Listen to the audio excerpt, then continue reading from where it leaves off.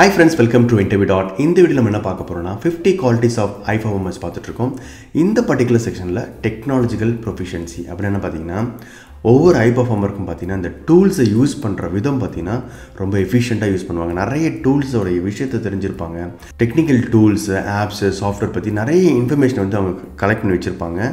So that அவங்களுடைய ஒர்க்கை பார்த்தீங்கன்னா எஃபிஷியண்ட்டாக முடிக்க முடியும் ஃபாஸ்டராகவும் ஸ்மார்ட்டராகவும் சரிங்களா? So they master tools and options second point பார்த்தீங்கன்னா ஸ்டேயிங் அப்டேட்டட் அஸ் யூஷுவல் பார்த்தீங்கன்னா ஹை பர்ஃபார்மர் எப்பவுமே வந்து நிறைய பிளாக்ஸ் படிப்பாங்க நிறைய புக்ஸ் படிப்பாங்க நிறைய மீட்டப் போவாங்க நிறைய கான்ஃபரன்ஸ் போவாங்க நிறைய வீடியோஸ் பார்ப்பாங்க.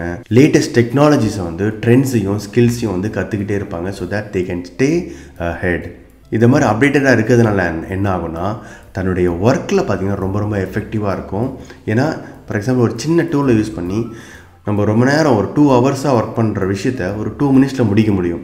ஸோ அந்த மாதிரி டூல் அவங்க கற்றுக்கிட்டு அதை அதை ப்ராக்டிஸ் பண்ணாங்கன்னா so they can finish their work in an efficient way மூணாவது பாயிண்ட் பார்த்தீங்கன்னா அதே மாதிரி தான். இந்த டெக்னாலஜியில் வந்து நீங்கள் ப்ரொஃபிஷியன்சி அதிகமாக இருக்கும்போது உங்களுக்கு வர ப்ராப்ளத்தை வந்து நீங்கள் ஈஸியாக குயிக்காக வந்து சால்வ் பண்ண முடியும். ஸோ ட்ரபுள் ஷூட் பண்ணுறதா இருந்தாலும் சரி அந்த அந்த ப்ராடக்ட்டை ஃபிக்ஸ் பண்ணுறதா இருந்தாலும் சரி அது ஃபாஸ்ட்டாக இருக்கும். So that you can save your time and reduce stress so fourth point பார்த்தீங்கன்னா அதே மாதிரி தான். டெக்னாலஜி யூஸ் பண்ணி எப்படி வந்து ஒர்க் குவாலிட்டி இம்ப்ரூவ் பண்ணலாம் அப்படின்னு சொல்லி பார்த்தீங்கன்னா டீட்டெயிலில் ரிப்போர்ட்டு க்ரியேட் பண்ணுறது கூல் ப்ரெசன்டேஷன்ஸ் வந்து ப்ரிப்பேர் பண்ணி அதை ப்ரெசென்ட் பண்ணுறது இப்போ போரிங்கான டாஸ்க் லைக் ரிப்பீட்டட் டாஸ்க்கை வந்து எப்படி ஆட்டோமேட் பண்ணுறது ஸோ இந்த மாதிரி தனக்குண்டான தனக்குண்டான ஒர்க்கை வந்து எப்படி குவாலிட்டியாக கொடுக்கறது அதை எப்படி இம்ப்ரூவ் பண்ணுறதுன்னு சொல்லி இந்த டெக்னாலஜி யூஸ் பண்ணி அதை ட்ரை பண்ணுவாங்க. அடுத்தது பார்த்தீங்கன்னா ரொம்ப ரொம்ப முக்கியமானது teaching others so high performance பார்த்தீங்கன்னா முடிஞ்ச வரைக்கும் மத் தன்னுடைய டீம்மேட்ஸ்க்கு வந்து ஹெல்ப் பண்ணுவாங்க.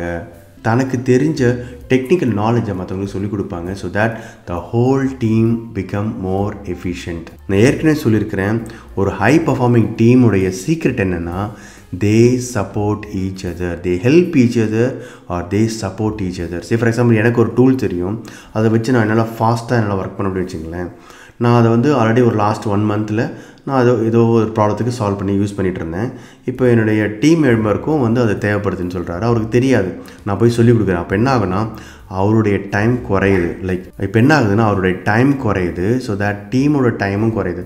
ஸோ எங்கள் டீமில் ஒரு பத்து பேர் இருக்காங்கன்னா பத்து பேருக்கும் நான் சொல்லிக் கொடுக்கும்போது என்ன ஆகுனா என்டையர் டீமோட டைம் பார்த்தீங்கன்னா எஃபிஷியண்ட்டாக மாறுது. அதனால தான் பார்த்தீங்கன்னா ஹை பர்ஃபார்மிங் டீம் வந்து they support each other they help each other so உங்களுக்கு இந்த இன்ஃபர்மேஷன்லாம் ரொம்ப யூஸ்ஃபுல்லாக நினைக்கிறேன். Thank you so much for your support and all the best for your career see then bye bye thank you